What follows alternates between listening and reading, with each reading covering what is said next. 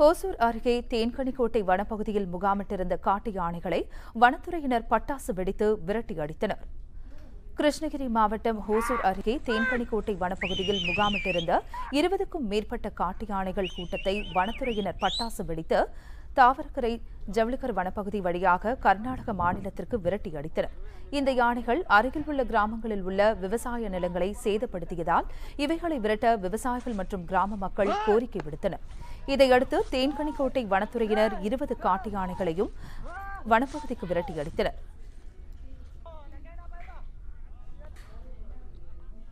முக்கிய நிகழ்வுகளை அறிந்து கொள்ள காவிரி நியூஸ் யூடியூப் சேனலை சப்ஸ்கிரைப் செய்யுங்கள்.